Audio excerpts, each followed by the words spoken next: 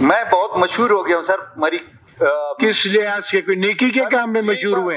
वही मैं अर्ज़ करने लगा हूँ। हाँ। एक पोस्ट चली है सोशल मीडिया पे तो मामा नसीबुल्ला की जो है ना एमपीएशिप खतरे में आ गई है क्योंकि ये मुझे नहीं मारेगा। मरियम की तरफ़ से जैसे सो, सोशल मीडिया पे देते हैं कि सरदार सरदार भी नहीं अब्दुलरहमान खेतरान को जो मारेगा अगला कोलू का एमपीए वो होगा।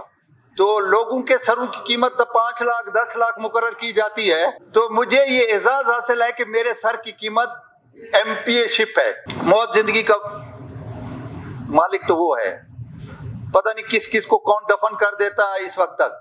और मैं अलहमदुल्ला वैसे तो तारीख पैदाइश के हिसाब से पैंसठ साल में जा रहा हूँ, लेकिन अपनी फिजिक के हिसाब से मैं साढ़े बाईस साल का हूँ।